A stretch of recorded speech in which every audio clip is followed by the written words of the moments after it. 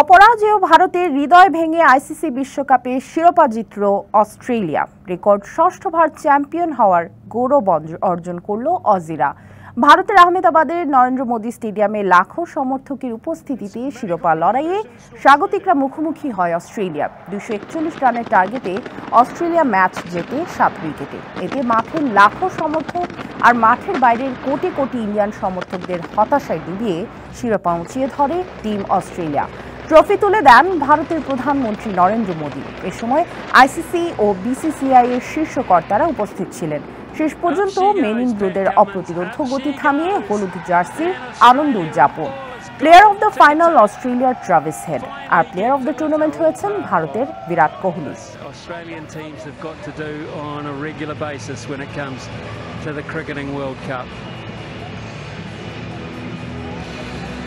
Photo after of uh, one of the tournament.